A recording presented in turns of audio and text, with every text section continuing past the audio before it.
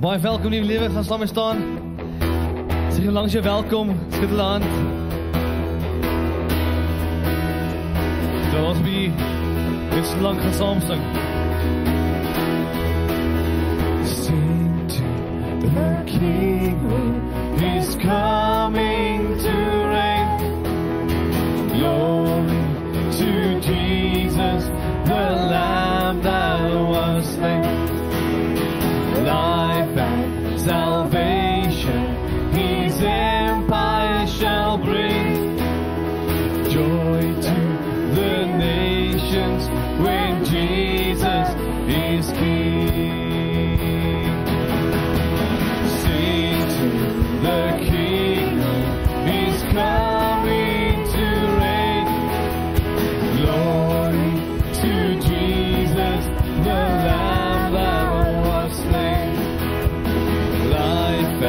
salvation,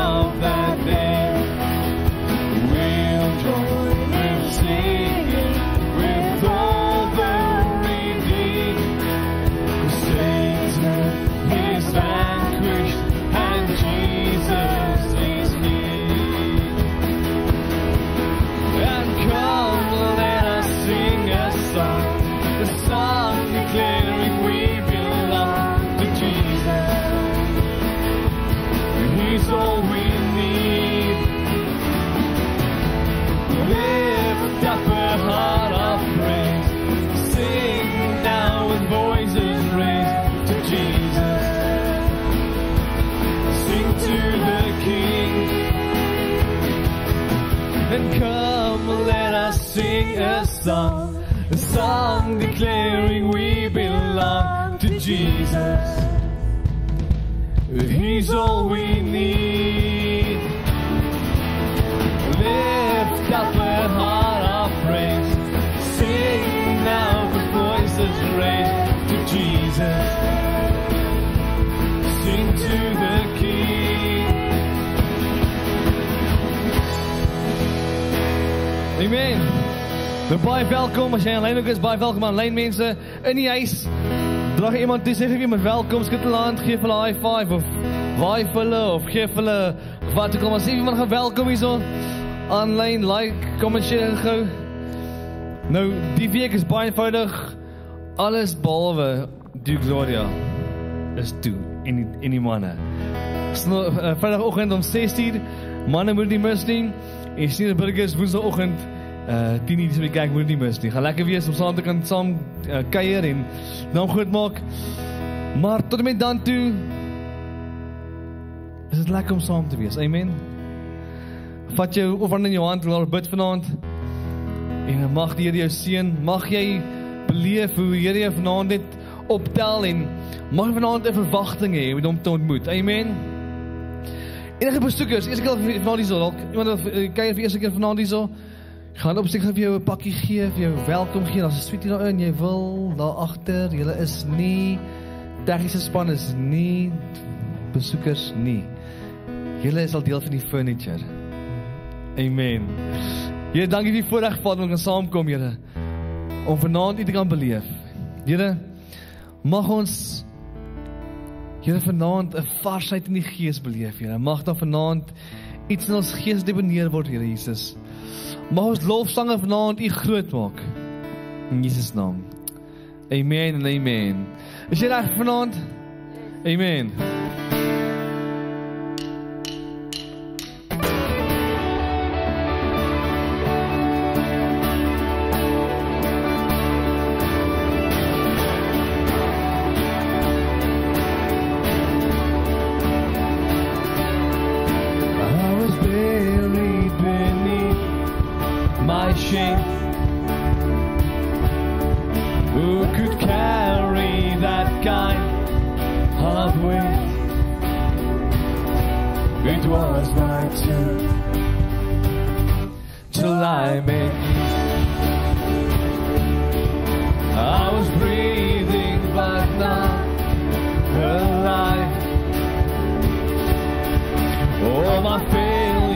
I tried to hide. It was my turn. till I met you.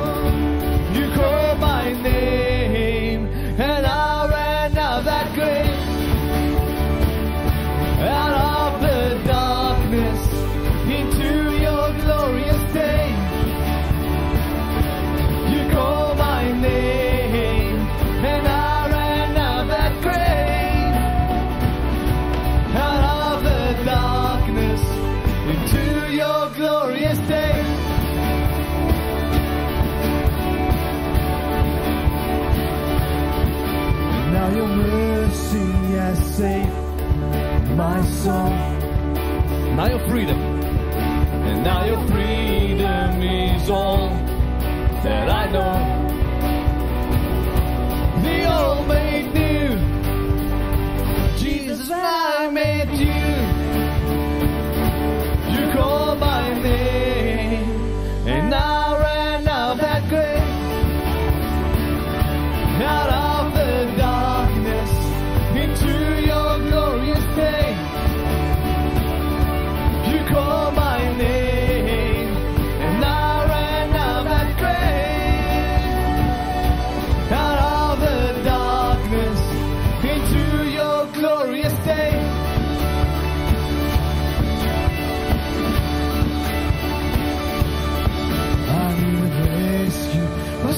heavy. My chains break at the weight of your glory.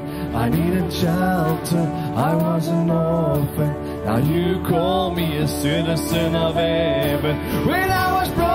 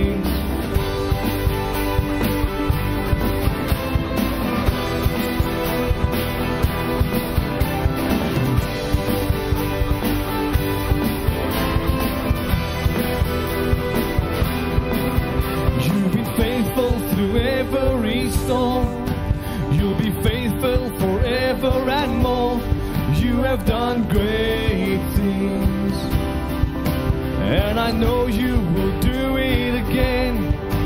For your promise then yes and amen, you will do great things. God, you do great things. Oh, hero of heaven, you conquered the grave. You free every captive and break every chain, oh God. You have done great things. We dance in your freedom, awake and alive. Oh, Jesus, our Savior, your name lifted high. Oh, God, you, oh, of heaven. Oh, hero of heaven, you conquered the grave.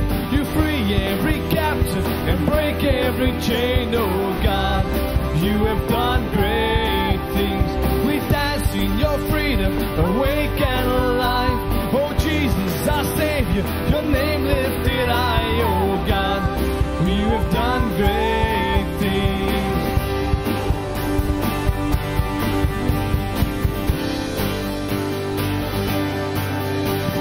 Hallelujah, God, above it all. Hallelujah, God, unshakable. Hallelujah, you have done great things.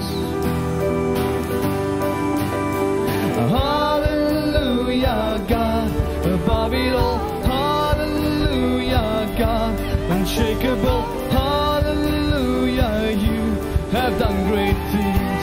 You've done great things. Oh, hero of heaven, you conquered the grave. You free every captive and break every chain. Oh, God, you have done great things. We dance in your freedom, awake and alive. Oh, Jesus, our Savior, your name lifted high. Oh, God, have done great things. You have done great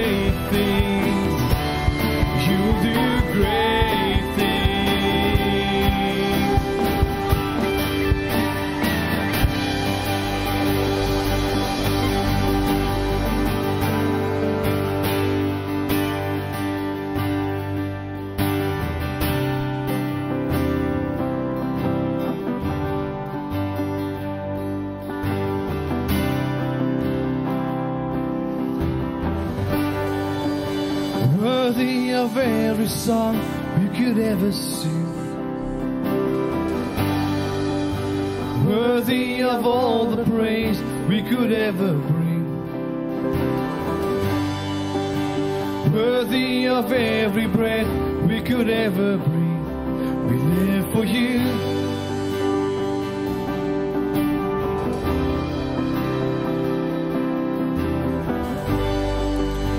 Jesus, the name above every other name. Jesus, the only one who could ever save. Worthy of every breath we could ever breathe. We live for you. We live for you. For holy, there is no one like. There is none beside you. Open up my eyes in wonder and show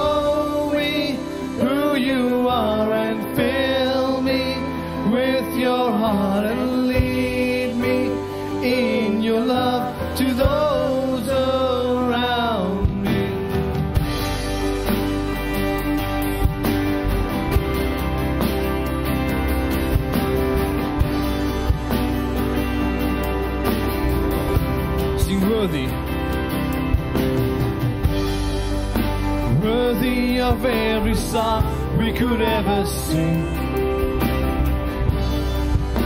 Worthy of all the praise we could ever bring. Worthy of every breath we could ever breathe. We live for you. Jesus' name above every name. Jesus, the name above every other name.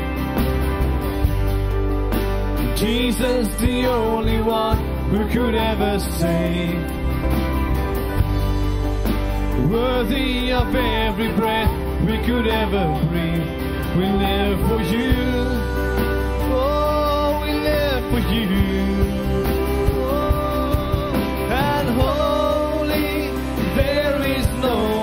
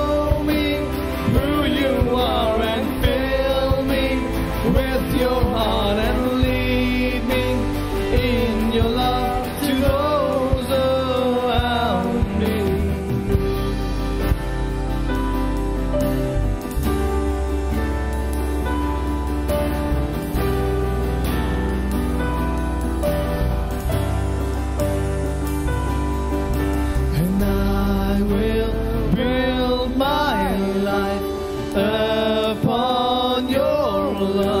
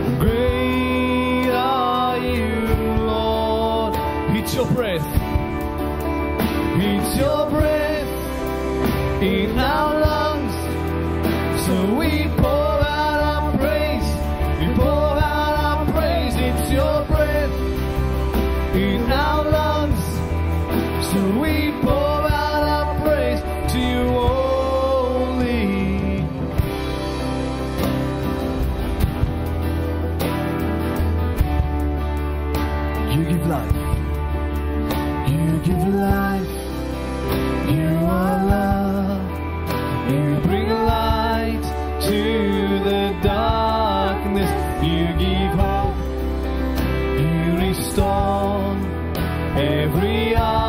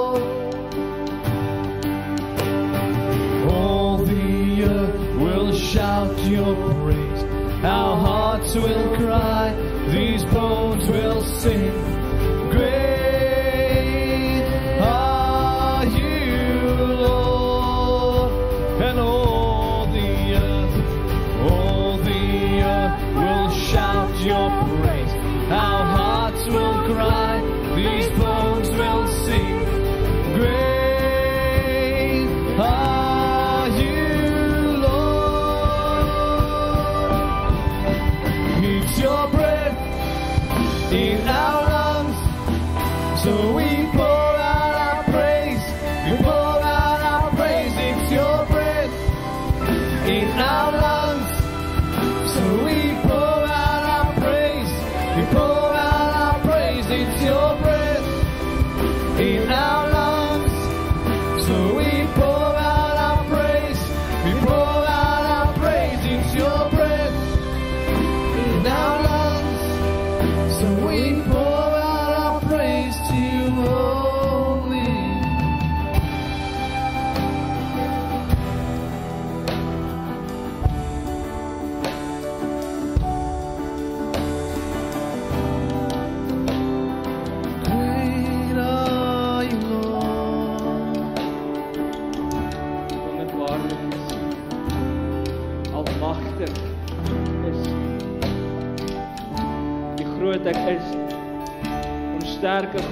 ewige Vader, ons raadsman, ons vredevol. Here, ons kan nie anders dat ons hele wese uitroep na U dat U is groot. U is almagtig. Here by U is niks onmoontlik nie, is by kragte by mag om enigiets moontlik te maak.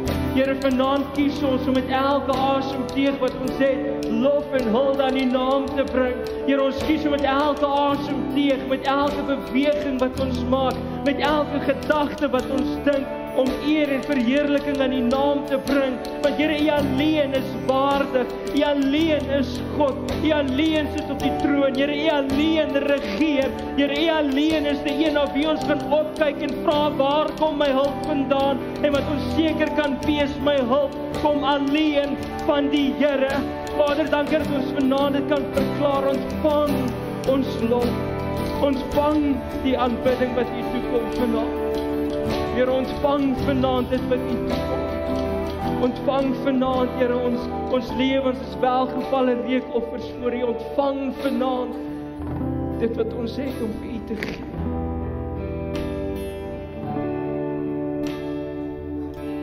Here, hier is ek.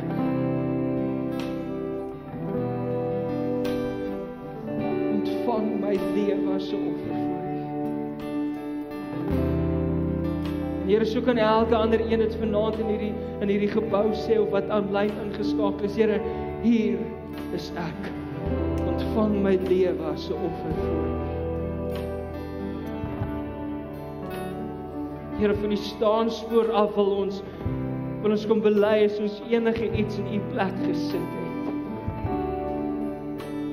Here, as enigiets meer aandag geniet het as as dit wat U toekom. Here wil ons kom ekskuus.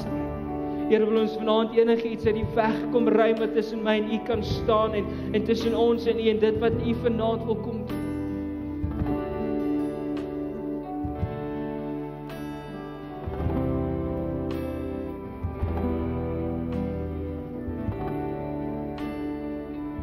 Here kom verklaar vanaand my afhanklikheid van U. Here ek weet ek het U vanaand nodig. Kom gebruik my as 'n instrument in U hand. Here dankie vir die woord wat nooit se lede terugkeer nie. Dankie Here dat U 'n waarmaker van die woord is en dat daar altyd hoop is. Dankie Here dat ons altyd hoop kan hê.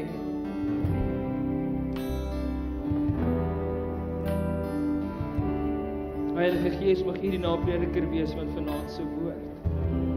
Mag hy soos 'n twee-sterrende swaard wees wat tussen murg en been indring. Here, daar waar konfrontasie miskien ons kant toe gaan kom. Here, mag ons ontvanklik wees vir dit.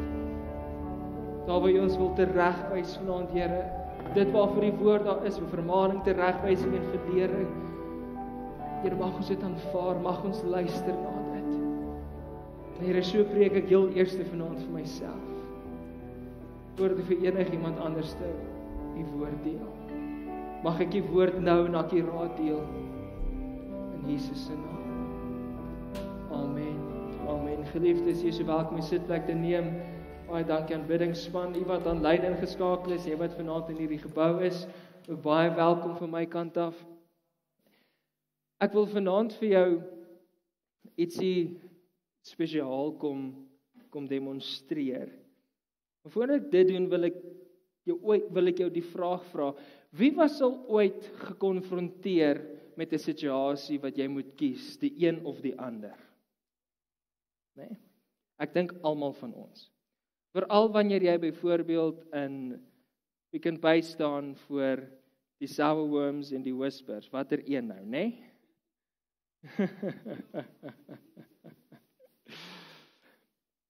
ons almal word daagliks gekonfronteer met besluite wat ons moet maak.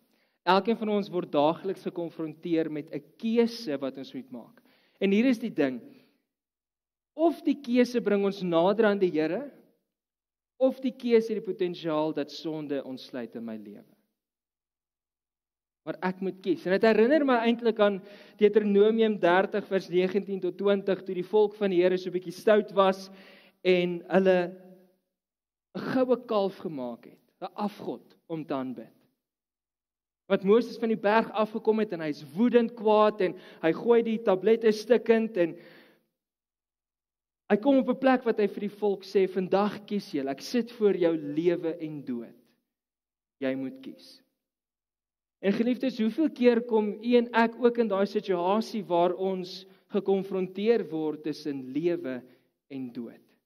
Waar ons moet kies tussen lewe en dood. Waar ons moet kies tussen dit wat reg is en dit wat verkeerd is. Dit wat die Here gaan behaag en dit wat die Here nie gaan behaag nie. En op die einde van die dag besluit ons baie keer op 'n kompromie aan dit wat God van ons verlang. Baie keer compromise ons oor dit wat God van ons verlang. En ons raak partykeer bietjie justifying Ons sê maar dis oukei okay, en so en, en ons het al hierdie verskonings om sekere dinge te kan doen. Ek meen die volk van die Here was bang geweest dat Moses nooit weer van die berg sal afkom nie. Maar hoeveel keer compromise ons rondom die waarheid en dit wat God wil ons moet doen? En ek wil jou vanaand vat op 'n reis deur Rigters. Ja, die hele boek Rigters. So ons gaan hier sit tot môreoggend toe. Is dit reg? ek wil jou vanaand vat op 'n reis deur Rigters en en om die boodskap oor te dra en en die die die effek van dit wat ek graag wil bereik vanaand, gaan ek vir jou die storie vertel van Rigters. So ons gaan min in die Bybel spandeer vanaand waar ek vir jou gaan lees, maar ek wil jou gaan vra. Maak Rigters hierdie week jou stilte tyd. Jou tyd saam met die Here gaan werk om deur. Dit gaan jou verbaas, ek beloof jou. Maar ek wil vir jou graag vertel wat gebeur het uit die oogpunt van die engel wat verskyn in Rigters 2 vers 1 tot 5. Nou hierdie engel die boodskap van die Here aan die volk van God gebring.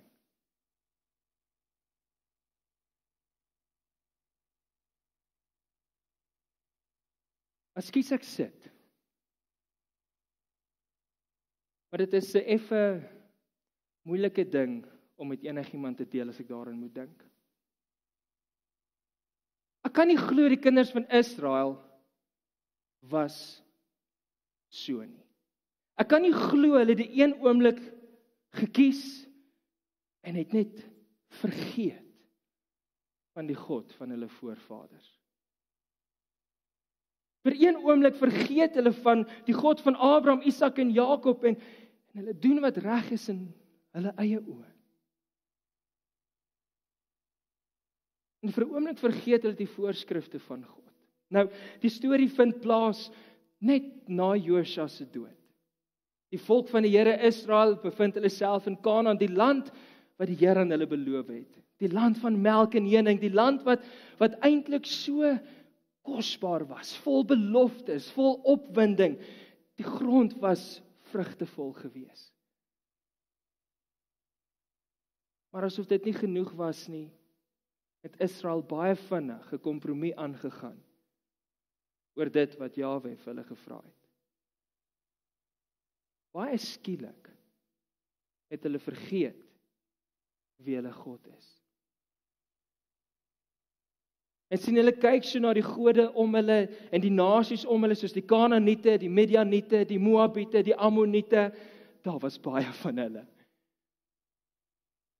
En hulle kyk na hulle gode en hulle besin by hulle self, maar as hulle land so vrugbaar is, dan moet dit tog die werk van hulle gode wees.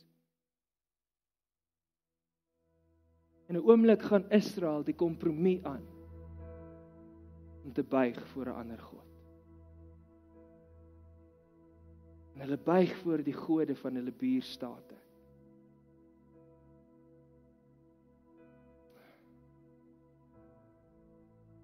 My meester se hart was so swaar en ek het hom so jammer gekry. Ek meen net net 'n paar jaar vroeër het hy die hele Israel vanuit Egipte se slawerny bevry. En vir 40 jaar lank deur die woestyn het hy homself oor en oor en oor bewys as getrou. Homself ontferm oor sy volk. Maar hulle het dit vergeet. Ek onthou die dag toe toe God my gestuur het as sy boodskapper na sy kinders toe. Sy uitverkore volk. En waar ek vir hulle moes gaan sê het Israel draai weg van dit wat verkeerd is in die oë van die Here. En kan jy glo die vermetelheid wat Israel het om te sê ja, maar dis omdat ons nie 'n koning het wat vir ons kan wys hoe om te leef nie.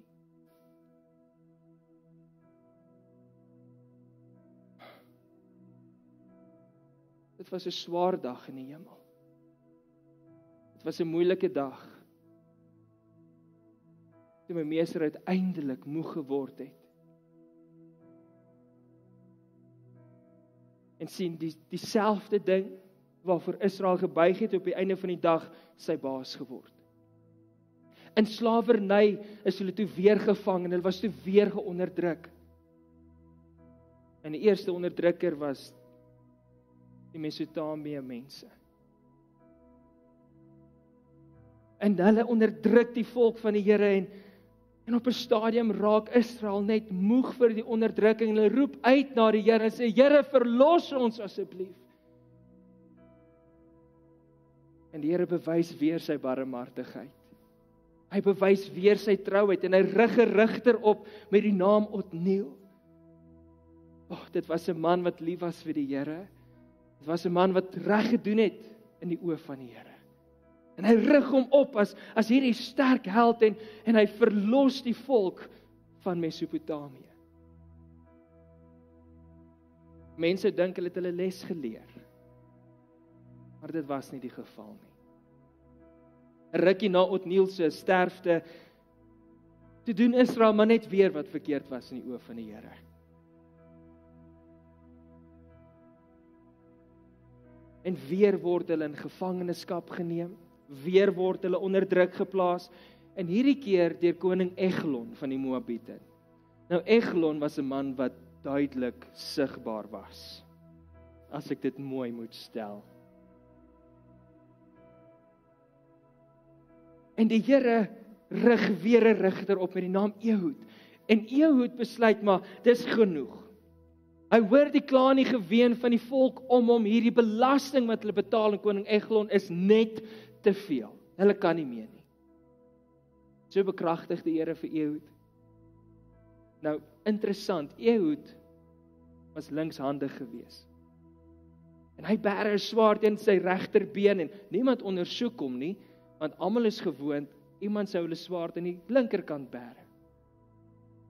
En Ehud kry dit reg om Eglon apart te hê vir 'n oomblik in sy troonkamer en weet wat? Eglon, ag, skus, Ehud kry sy oomblik. Nou haal hy swaard uit sy been uit en hy druk hom in koning Eglon se maag in. Dit is nogals indrukwekkend wat volgende gebeur. Die swaard bly agter heeltemal bedek. En Ehud kry oomblik om te ontsnap. Nou, hier's waar dit bietjie begin snaaks word. Eglon se wagte staan buite sy kamer. En hulle het so skaam geword want hulle het gedink die koning was besig om te jy weet en Hulle raak skaam solank soos wat hulle wag en uiteindelik besluit hulle nee, nou gaan ons hierdie kamer ingaan en ons gaan gaan kyk wat gaan aan met die koning, net om die koning dood te sien daar. En daardie dag roep Ehud die Israeliete en hulle hou oorlog teen teen die Moabiete en hulle word verslaan. En hulle beleef vrede.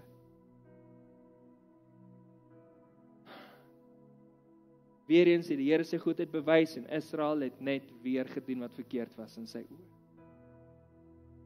Weer word hulle onder die gevangenskap geneem en weer word hulle onderdruk, maar hierdie keer deur die Kanaaniete. Nou Israel se moeder op daai stadium, Deborah. Ag, die Here was so lief gewees vir haar. Sy was 'n profetes en en hy het soveel dinge met haar gedeel. En sy roep vir Barak en sy sê: "Van kom, dis tyd vir oorlog. Die Here wil ons vrymaak van die druk van die Kanaaniete." Maar Barak was bietjie van 'n bangbroek en hy sê maar hy wil nie alleen slagveld toe gaan nie. Iemand moet saam met hom gaan. En Deborah sê toe vir hom: "Dis reg, ek sal saam met jou gaan, maar dan moet ek vir jou sê, vandag gaan die oorwinning nie deur 'n man se hande plaasvind nie, maar die Here sal Israel laat wen deur die vrou van 'n hand, deur die, die hande van 'n vrou." En op die einde van die dag het Jael die die die hoofoffisier, die generaal van die Kanaaniete deurboor met 'n tentpen dit was nogals gruesome, ek moet sê, maar ek was bly vir die volk van die Here. Maar hier is die hartseer saak. Deborah was die laaste regter wat God opgerig het wat eintlik goed geëindig het. Sy was die laaste een wat regtig gedoen het wat reg was in die oë van die Here. As jy dink maar wat van Gideon en daai ouens Ons kom by sy storie. Dis volgende. Weereens doen die volk van die Here wat verkeerd is in die oë van die Here na Deborah gesterf het. Net weer eens. Dis asof daar 'n spiraal plaasvind van afvalligheid.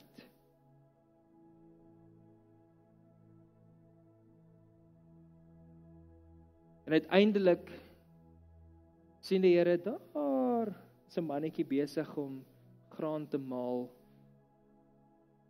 Maar hy's hy's regtig 'n bangbroek. Weet jy hoeveel oortuiging het dit van my gevat om daai ou te oortuig om net iets te doen? Genade Gideon. Weet jy hoeveel keer moes ek vir hom sê sterk en dapper help my, hy wou net nie hoor nie. Uiteindelik gee jy in. En ons ken sy storie. Jy het dit al hoeveel keer gehoor? En die Here gee vir Israel weer die oorwinning. En hier's die ding. Israel wou Gideon kroon as koning en sê regeer vir ons, maar Gideon het die eerbare ding gedoen en gesê nee, jy het een koning. Slegs een. En is Jawe, die God van Abraham, Isak en Jakob, dis hy wat oor julle regeer. Maar toe gaan dinge bietjie na Gideon se kop toe. En hy sê: "Maar weet jy wat? Dis reg. Bring vir my julle goud, bring vir my julle silwer." En Gideon begin toe om 'n afbeeld te bou. Die volk van die Here word net verder gelei in afvalligheid. En daar het dinge regtig suid gegaan. Na Gideon se sterfte doen Israel net weer wat verkeerd was in die oë van die Here. Die volgende groot regter wat wat my meeste toe besluit het om op te rig is Jefta. Nou Jefta glo dit of nie, was die seun van 'n prostituut. En sy halfbroers het hom almal weggejaag en gesê jy moet daar aan die ander kant gebly, jy's die broer in die tronk waarvan niemand wil weet nie. Bly daar. Maar so gaan die stamhoofde van Israel na Jefta toe nou. Jefta het intussen 'n gang member geword en die leier ook daarvan. En die stamhoofde gaan vra vir hom kom help ons asseblief. Ons het nodig dat jy ons verlos van hierdie mense. En so sê Jefta dis reg. Maar net om te wys hoe ver Israel eintlik van die waarheid af was. Hoe ver hulle eintlik van hulle God af was is in die uitspraak wat Jefta maak gesê: "Here, as U vandag hierdie mense in my hande oorgee, beloof ek U om 'n brandoffer vir U te bring van wat ook al eerste uit my huis uitkom om my te groet." O, oh, Jefta, jy was nie slim nie. Dit het gemaak dat God niks anders te lyk as enige ander god in hierdie land nie.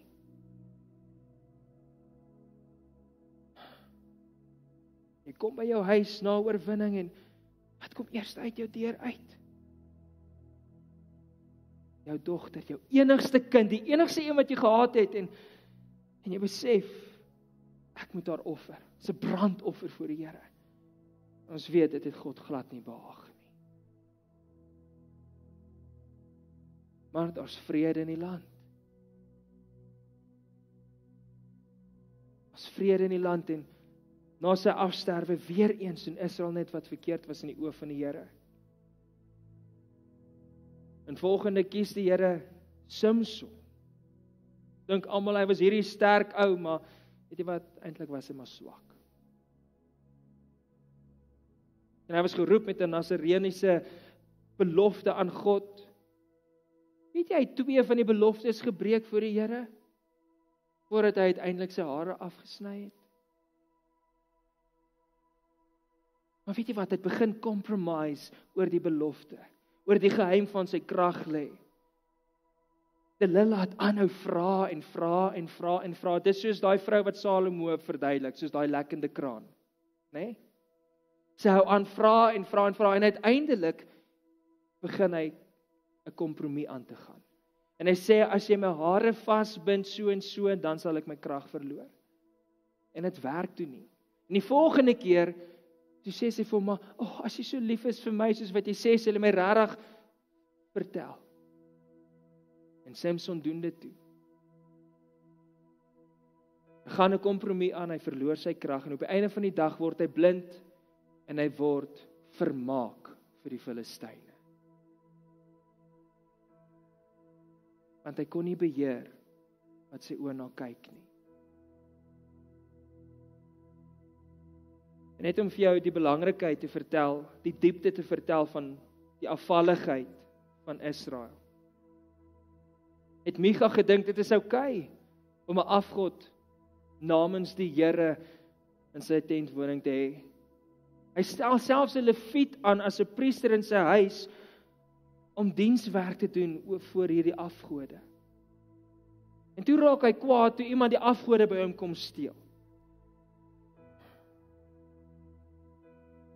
Dat Israel dink dit is oukei okay om hulle God wat hulle verlos het uit Egipte te vergelyk aan aan hierdie gode van van Kanaan en, en sy inwoners.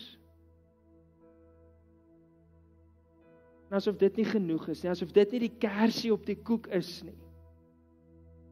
Was daar 'n baie baie baie donker dag in Israel. Iets wat die Vader se hart verskeur het, iets wat die Vader so so hartseer gemaak het, iets wat myself bedroef het en en ek nie geweet het wat moet ek doen rakende hierdie nie. Weet en dit omdat Israel nie geluister het na die waarskuwing wat God my mee gestuur het na hulle toe nie. Hulle fiet gaan haal sy byvrou by haar vader. En is op reis na sy tuisdorp. En op pad daarheen raak dit donker en hulle besluit om in een van die stede van Benjamin oor te bly vir die aand. En niemand wou gasvry wees en hulle inlaat nie. En daar kom 'n ou man van die veld af en hy nooi hulle in. Weet jy wat geliefdes? Jy wat na my luister. Die manne van Benjamin kom na daardie man se huis toe en vra hy moet die leviet aan hulle oorgee want hulle wil hom ken. Sis. Maar die man sê asseblief moenie, dis my gas, jy moet niks doen wat hom enigsins skade kan aanrig nie. Hier is my dogter, maak met hulle wat jy wil. Maar hulle het geweier, hulle wil nie sy dogter gehad het nie. Hulle sê gee vir ons daardie man. En die leviet stap voor en hy sê manne van Benjamin. Hier is my byvrou. Maak met haar soos wat jy wil. En daardie aand gaan die leviet na sy bed toe en hy gaan slaap terwyl hierdie manne van Benjamin afverkrag. En die volgende oggend toe hy opstaan om te gaan kyk waar is hy, toe vind hy haar dood by die man se deur. En hy gaan huis toe. En hy gaan sny haar op in 12 stukke. En hy stuur haar reg deur Israel om te verduidelik en te wys hoe sleg is Benjamin. Weet jy wat die eerste oorlog breek uit in Kanaan tussen Israel se broers. Net omdat Israel nie geluister het nie. Die Here het gesê, "Dryf die nasies weg uit Kanaan uit." Dis hele beloofde land, maar dit kompromie aangesien gesê hierdie ouens sal ons nie pla nie. As gevolg van een kompromie. sien ons 'n siklus van afvalligheid tussen God se mense.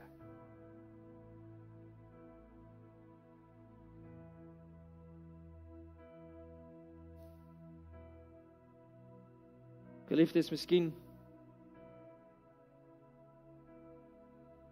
sê hulle met my saamstem vanaand. Dis rof. Dis moeilik om so iets te digest. Dis moeilik om so iets te begryp. Maar weet jy wat? Dieselfde sonde wat daardie tyd in Israel was, is dieselfde sonde wat ons vandag beleef. Miskien buig ons nie letterlik voor afgode nie, voor beelde nie. Maar ons buig wel voor ander goed. Ons maak kompromieë aan dat goed God se plek, sy ereplek in ons lewens vat. En ons maak onsself skuldig van afgoderry. Ons maak onsself skuldig van afvalligheid. En hier is die ding, die Here het beloof afvalligheid sal in die kerk begin.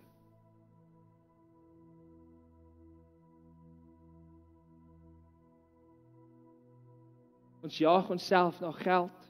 As geld nie genoeg is nie. As ek hard werk en ek moeg hard gewerk is en ek dit net nie maak nie. Kom die versoeking. Ek gaan 'n kompromie aan om myself dalk uit die til een keer te help en later sit ek met die hele besigheid se geld. Skuldig aan miljoene rande wat ek gesteel het. Of ek gaan 'n kompromie aan met my oë. Ek kyk na goed wat ek nie moet kyk nie en môre oor môre wonder ek hoekom werk my huwelik nie uit. En daai een kompromie wat ek met my oë gesluit het, lei na die een ding na die volgende na die volgende. As ek myself kan kry as ek betrokke in swinger clubs en ek verneek op my eggenoot en môre oor môre is my huwelik daarmee heen. Ons sit ook met sondes in ons lewens vandag van selfregverdiging. Ons kyk na sosiale media. Ons word verslaaf aan alkoholis of of aan alkohol en aan dwelms en en ons weet net nie meer hoe ek uit hierdie dinge gaan vrykom nie. Maar een ding moet ons onthou. Telke maal het die Here homself genadig bewys aan sy volk. Elke keer. En dit maak nie saak hoe ver ons van die Here af weggedraai het nie, as daar vanaand 'n drukking in jou gees is, as daar vanaand 'n stem is wat jou oortuig van son en geregtigheid, is jy nog nie te ver nie. Is daar nog kans om vanaand reg te maak? Want sien die einste ding wat baie van ons aanbid vandag is dieselfde dinge wat ons gevang hou. Sien ons beleef nie die beloftes van God nie. Ons beleef nie ons Kanaan nie. Net soos wat Kanaan die belofte vir Israel was, so het ons deur Jesus wat vir ons gesterf het, soveel beloftes tot ons beskikking. Maar ons mis uit op dit. Want ons buig voor ander goed. Ons ander goed wat God se tyd in my lewe opneem. Ons sluit kompromieë met verhouding met God deur dat ons nie kerk toe gaan nie. Ons lees nie Bybel nie. Ons spandeer nie tyd om in sy teenwoordigheid nie. Ons bid nie. Ons maak onsself skuldig. Ek sluit 'n kompromie ag vandag. En vandag word môre ook en môre word 'n week en later as ek myself kry so ver van God af weggedwaal dat dit vir my voel ek heeltemal van voor af weer moet begin. Jy sien ons kom so maklik onder die beheer van ander goed omdat God nie die ereplek in ons lewens het nie. En daar is 'n paar lesse wat ons vanuit hierdie teks kan leer, baie eintlik. En ek wil vanaand drie pertinentes net aan die voorhou. Die eerste een is moenie kompromieë aangaan nie. Do not compromise. Moenie 'n kompromie aangaan raak in jou verhouding met die Here nie wanneer ons kompromie aangaan raak in 'n sonde en dit toelaat om in ons lewens te kom en ons mag onsself selfs as slawe vind daarvan. As ons nie onmiddellik met dit te werk gaan nie, gaan dit ons moontlik verteer. Dit gaan ons onderdruk. sien daar is 'n rede dat Paulus gesê dat ons van sonde moet weghardloop. Ek wil julle vra, gaan gou asseblief saam met my na 2 Timoteus 2 vers 22 toe.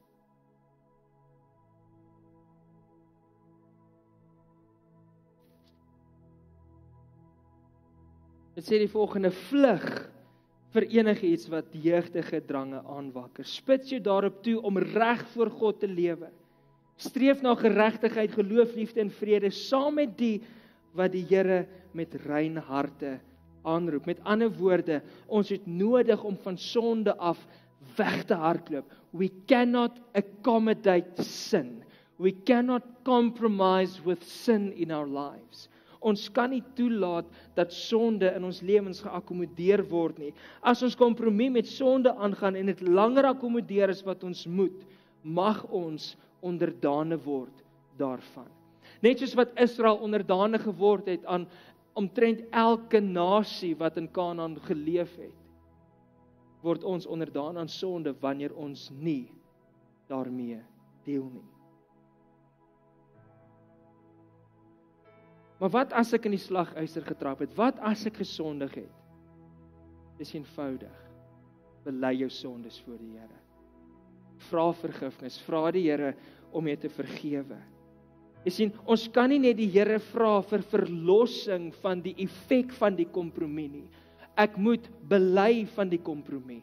Ek moet bely van die sonde want hier is die moeilikheid. Baie mense soos Israel self was moeg vir die effek van die kompromie. Hulle was moeg vir die effek en die uitwerking van die sonde en hulle het geroep, Here, verlos my. Maar jy geweet Israel het nie een keer tydens die regter se tyd repent nie. Hulle het elke keer gevra, Here, verlos ons en uit sy goedheid en sy genade het hy die volk verlos. Maar as hulle repent het daarvan was dit dalk 'n ander storie. Ons sien repent daarvan. Bely dit voor die Here. Hebreërs 4 vers 16 sê dat ons met vrymoedigheid kom ons gaan dan met volle vrymoedigheid na die troon van ons genadige God. Hy sal aan ons sy ontferming en genade bewys sodat ons op die regte tyd gehelp sal word. Met ander woorde, we have to run to God as soon as we have sinned. Met volle vrymoedigheid moet ons na hom toe gaan en bely en vra Here, vergewe ons. Nou ons woordskoolstudente sal die volgende baie goed onthou. Hoe lyk ware belydenis? Hoe lyk dit wanneer ek bekeer van my sondes? Ek het nodig om volgens Psalm 51:19 'n ware berou te hê vir my sondes. Dan volgens 1 Johannes 1 vers 9 het ek nodig om vir my sondes te bely. Ek moet dit op die naam noem, ek moet dit voor God bring. Dan volgens 1 Timoteus 1 vers 14 moet ek glo in die genade van God wat ek ontvang wat my vrymaak. En dan volgens Lukas 19 vers 8 tot 9 het ek nodig om reg te maak waar ek verkeerd was. Soos wat sy gees byvoorbeeld reggemaak het, teruggegee het, soos wat hy gesteel het. En die derde ding wat ons moet onthou, en dit is seker die belangrikste, dat God getrou bly. En hoekom is dit belangrik om te weet? Hoekom is dit belangrik om hierdie punt te verstaan? Want wanneer ek my sondes bely het, sal hy my herstel as sy kind. Kom ons lees 2 Timoteus 2 vers 13 saam. Dit sê: "Maar as ons ontrou is, hy bly getrou. Want hy kan homself nie ontken nie. Al is ons ontrou, al maak ons foute, Al het ons 'n kompromie gesluit, bly die Here getrou. Bly die Here getrou. En wat beteken dit vir my en jou vanaand? Ons moet verstaan dat wanneer God getrou bly, wanneer hy my vergewe, wanneer hy my herstel as sy kind, moet ek dit glo en moet ek dit aanneem, moet ek dit myne maak. Want hier is die moeilikheid. Soveel keer bly ons skaam, soveel keer bly ons onderdruk van dit wat ons probeer loskom, want ons glo nie die Here kan my vergewe nie. Ons dink die Here is al moeg vir my. Ons dink die Here het my al hoeveel keer vergewe van hierdie sonde, hoekom sal hy dit weer doen? Ons sien in Rigters keer op keer op keer op keer was God genadig. Net so sal hy vir ons genadig wees terwyl ons kans het. Geliefdes, ons het nodig om ons sondes te bely voor die Here. Psalm 145 vers 8 tot 9 sê genadig en barmhartig is die Here. Stadig om kwaad te word en ryk in liefde. Die Here is goed vir almal en barmhartig oor sy hele skepping. The Lord is slow to anger and is rich in love. Geliefdes, die Here is opgewonde om jou te kan herstel as sy kind. Die Here sien uit daarna om jou te kan herstel as sy kind. Hy's vol genade.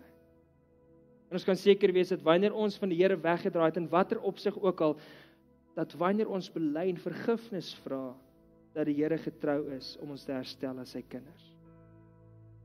Miskien mag jy vanaand vra maar wat het dit nou eintlik met my te doen? Vriende, familie. Ek kan nie vanaand genoeg beklemtoon hoe belangrik dit is om nie kompromie met sonde aan te gaan nie.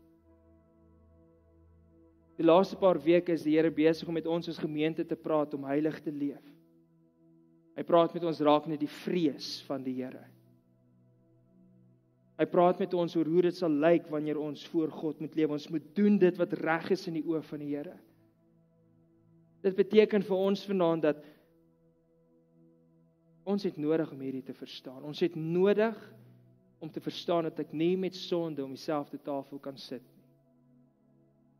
Ek moet verstaan dat ek sekere dinge in my lewe nie kan akkommodeer nie. Dit gaan beteken dat ek miskien handdrukke gaan druk Dat ek van besigheidsgeleenthede gaan wegstap.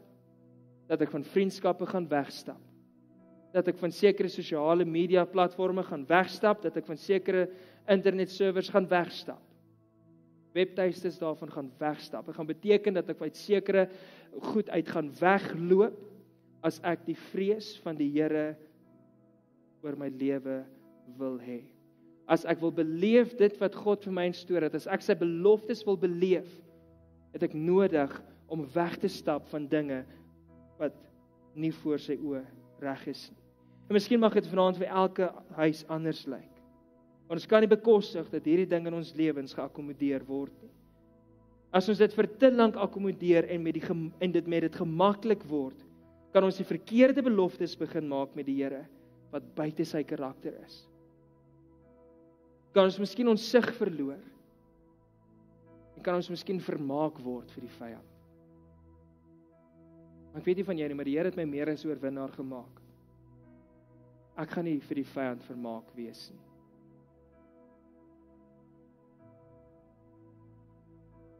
sien ons het nodig dat ons lewens in orde moet wees. Ons kan nie onsself skuldig maak aan dit waaraan Israel in die regter se tyd hulle self skuldig gemaak het aan nie. Ons moet wegjaag wat weggejaag moet word en vernietig enige iets wat enigsins op enige manier 'n negatiewe invloed op my verhouding met God kan hê. As dit my saligheid gaan kos, I better sort it out. Ek het nodig as die Here vir my sê vanaand ek moet ophou met hierdie ding, het ek nodig om dit uit my land uit te verdryf. Het ek nodig om dit uit my land uit te verjaag en daai grondgebiede besit te neem en dit te verklaar as die Here se. So omdat Israel dit nie gedoen het in die begin nie. Dat hulle hele spiraal van afvalligheid gehad het. We cannot compromise. En daar is wel hoop. En ons kan die hoop daarin hê dat die Here sy genade aan ons sal uitreik en krag vir ons gee en dat ons sal help om hierdie goed te verdryf. Soos ek vroeër gesê het, mag jy dalk 'n paar dinge kos. Vriendskappe, verhoudings, besigheidsproposisies, gesprekke en so meer. Ons kan nie bekostig om kompromieë aan te gaan vir 'n oomblik se aanloklikheid vir 'n oomblik se aanloklikheid. Ons kan nie kompromie aangaan vir dit nie. Ek wil dan graag afsluit. Ek wil nie enigiemand moet vanaand hier uitstap met 'n bedroefde hart nie. Dit is glad nie my intensie nie. Inteendeel, ek wil hê iemand moet hier uitstap vanaand. Elkeen van ons moet hier uitstap vanaand met die hoop op redding. Met die hoop op verlossing dat al het ek miskien van die Here weggedwaal, al het ek miskien sekere goed in my lewe toegelaat, kompromieë aangegaan dat die Here se genade vir my genoeg sal wees om my wel te herstel. Dat ek weet hy sal my vergewe wanneer ek na hom toe gaan. Jy sien aan die einde van die rigters era het God wel vir Israel 'n koning gegee om hulle te lei. Dawid, die voorbeeldkoning, 'n man na in sy hart in die Vader se hart. Het hy vir hulle gegee om vir hulle die pad te wys. Maar weet jy wat uit die stam van Dawid uit het ons ook vanaand 'n koning. Sy naam is Jesus. En deur sy gees lei hy ons in alle waarheid. Leer hy ons die dieptes van die Vader se hart. Wys hy ons hoe om reg te lewe, wat is verkeerd, wat is reg. En ek wil jou vra om nie kompromieë aan te gaan met hierdie wêreld wat maak dat dit God se stem in jou lewe sal uitdoof. Ek wil graag hê dat jy vanaand huis toe gaan met die hoop dat God vir jou is. En dat hy gereed is om jou te herstel as sy kind. En dat die Heilige Gees bekragtig ons. Hy sal vir jou die krag gee, hy sal vir jou dit gee wat jy nodig het om in staat te wees om hierdie sterk vestinge neer te werp. Hy sal dit vir jou doen. Laat ons nie kompromie aangaan rondom die beloftes van die Here vir ons rondom die beloftes wat die Here vir ons instoor het nie. Maar laat ons elke ding wat die belofte van die Here in ons lewens probeer steel, gevange neem en van dit ontslaa raak. Kom ons bid saam. Hemelse Vader, ek is vanaand die eerste een wat moet bely Ek is die eerste een wat vanaand sê, Here, ek daar's areas in my lewe waar ek kompromie aangegaan het. En ek het nodig dat U myself vergewe. Here, net soos daar ander mense vanaand wat dieselfde gebed wil uiter. Selfde woorde wil sê. My gebed vanaand is Here dat U ons sal genadig wees. Dankie vir die hoop op redding, Here. Dankie dat U getrou bly al is ek nie getrou nie. Here, dankie dat U gereed is om my te herstel as U kind. Here, dankie dat U vol liefde en barmhartigheid en genade is en dat U U lankmoedig is in dit. Ek bid en vra Here dat U deur U Gees ons sal lei en leer in alle waarheid. Ons sal help om van dinge ontslae te raak wat nie daar moet wees nie. En elke kompromie wat ons mag aangegaan het, Here, dat ons dit sal verbreek in Jesus se naam. Vader, mag U aangesig oor die mense verhef. Dan ons vrede gee in Jesus se naam. Amen. Amen. Geliefdes, mag jy geseënde week hê. Net so ter afsluiting, Woordskool TTR inskrywings is oop by die iDesk. As jy graag wil deel wees vir kwartaal 4, is jy meer as welkom. Maar gaan dan in die vrede van die Here. Moenie kompromie aangaan nie en sondig gemeen nie. Amen.